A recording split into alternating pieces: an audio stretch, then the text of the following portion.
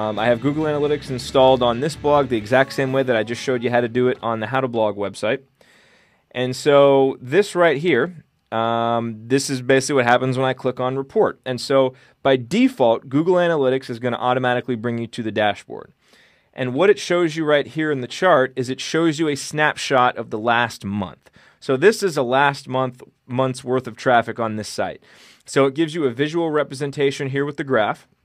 It shows you some general site usage statistics. So there have been 39,000 visits, 51,000 page views, which equates to 1.31 pages per visit.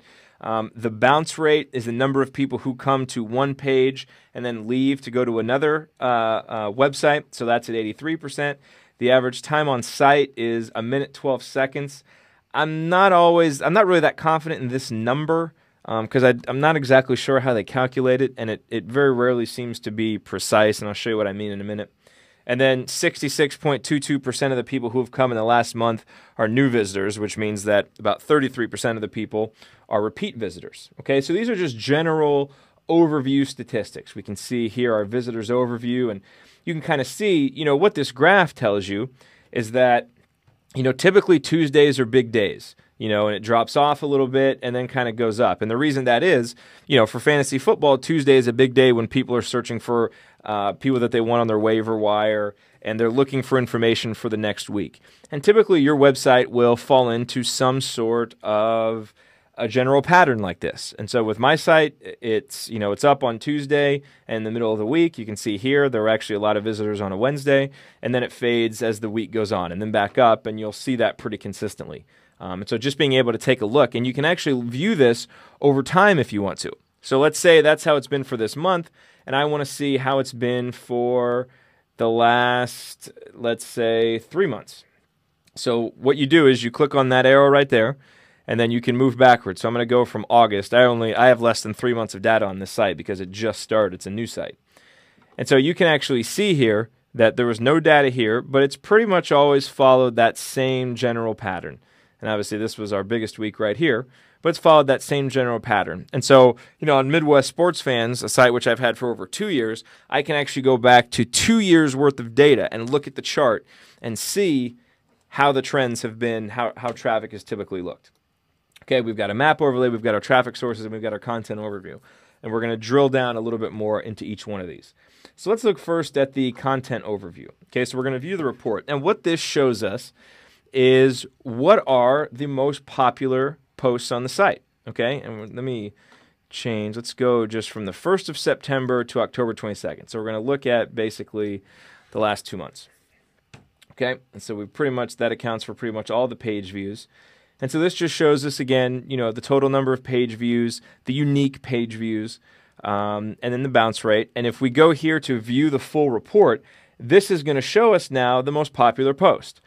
So this post here that I did in September, because you can see the month, uh, the week two start 'em sit 'em post, had over 5,000 views. It was the most viewed article on the site.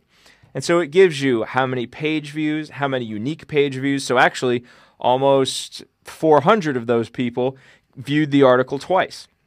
You can see the average time on page. The average visitor actually spent six minutes on that page. So that tells you that they're reading it, right?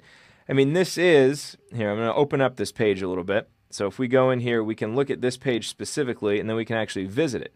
So if you look at this page, I mean, it's a pretty big piece of content. You know, for someone to actually read the entire article, it would take them a little bit of time, as you will see when this opens. So as we scroll down here, there's a lot there. I mean, there's a video on there. There's a lot of content here, right? I mean, you can see I'm still scrolling. So if I were to look at this and it said that the average time on page was 30 seconds, I'd have a pretty good idea that people aren't really looking at the page. But instead, it's six minutes, so I know that they're reading it, and that's a good thing. Okay, so let's go back here to the content overview. And as you can see, you know, a lot of these numbers are good six minutes, five and a half minutes. You know, this is the home page. Whenever you see just the slash, that means it's the home page. So people are spending a minute 24 on the home page. That's what you would expect because the home page is basically just trying to link people to other articles. I'm actually surprised they spend that much time on there. Okay. Um, and then you can also see the bounce rate, um, which again means that, you know, if you look at this, a lot of people came, uh, to this week two article, most of the people are going to come from the search engines. And so if you actually click on the article, you can go here and look at entrance sources and it'll tell you where people are coming from. And so people are coming from two places. They're either being referred from MidwestSportsFans.com, where I repost these articles because I have more traffic over there, or they're coming from search engines like Google and Yahoo and Bing. Okay?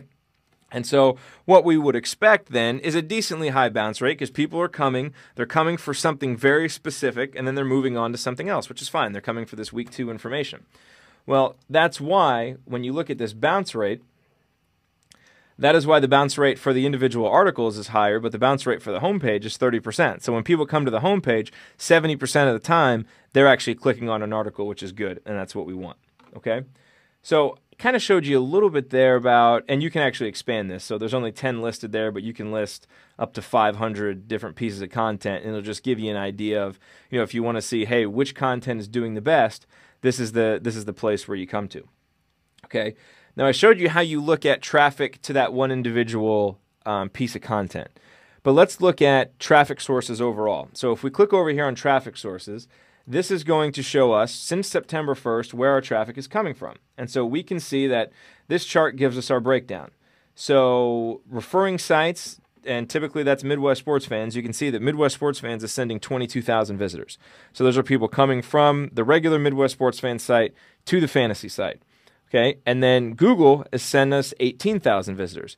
And so you can kind of see this in chart form. You know, the referring sites and the search engines are about even, and then you've got direct traffic and then just other random traffic. And so we can open this report up, and this is the full report of all the traffic sources. So we've got Midwest sports fans, and then we've got Google and Yahoo. Um, I'm a very active user on Reddit, and so that drives a lot of traffic from the fantasy football community there. Then we've got direct, which is people who have it bookmarked um, or people who just know about the site and go there. And then we've got Bing. Um, and then our Twitter feed, which you know we uh, auto tweet every post, that goes there, so you can see, and it goes down in all these little you know different places that bring in traffic. You know, Dallas sports fans brought in 19, and from Facebook we have this much. So, so you can kind of see, and it goes all the way down. I mean, you can see every single place that has driven you traffic, which is good. But you know, you want to take a look up here, and, and it allows you to make some decisions about you know where's the good traffic coming from. So, you know, like for instance, if we look at the difference between Midwest sports fans and Google traffic, well, people are spending you know point you know going to 0.16 more pages each visit. They're spending a little bit more time on the site, right? And again, this is where you see this average time on site is a minute eight seconds. But when we look at the actual content of each page, did you see how high the numbers were? This is why I don't really trust those numbers that much. You know, six minutes, right? Let's go back up here at the top. Sorry. Six minutes, five minutes, six minutes, five minutes, six minutes. So the highest posts are all being viewed four, five, six minutes, and yet it says average time on site is a minute and some. So that doesn't really make sense. I've never really understood it, but you know that's why I don't really look at that overall time on site number. I look by post. So those are our traffic sources. Now, we can also see which keywords are coming in, and this can be very valuable as you strategize for the search engines. So if we click on keywords now, we can see over the last two months which keywords have driven the most traffic. So Start 'Em Sit 'Em Week 2, 448 people found the Midwest Sports Fans Fantasy site by this. And of course, that was the number one ranked post. Ryan Grant injury update, that drove 400 visitors. General fantasy football start 'em sit 'em. Yada yada. So we can go all the way down the line and we can see. So if I'm looking at this, I can make decisions and say, okay, every week I need to be optimizing a start 'em sit 'em post with the week. Because look at this start 'em sit 'em week two, start 'em sit 'em week five, right? Week two, start 'em sit 'em, week six, start sit. You can see how those tend to typically pop up over and over again in the stats, right? What else tends to pop up? Well, when you put in, you know, for injury, so Ryan Grant injury update, Ryan Grant injury. So when guys get injured, sometimes that can drive big bumps, right? And then individual players. So this, when you analyze this, this can give you an idea of what's working and maybe what's not. Maybe you optimized a post for, you know, XYZ keyword. Like for instance, you know, I do a rankings post. Well, I don't see week two rankings up here at the top anywhere, right? So either I'm not optimizing it right, you know, here it comes up for the first time, week five rankings. So then maybe I need to go look at the search volume and say, is there just not the search volume? Am I not optimizing it enough? Yada, yada. I mean, I could sit here and we could spend 45 minutes just talking about the kinds of questions that you can ask and the answers that you can get from looking at your keywords for search. But the key is to just be able to, to come in here and, and do it, to look, look for keywords, right? To, to look at where the traffic is coming from. Okay? So that's keywords.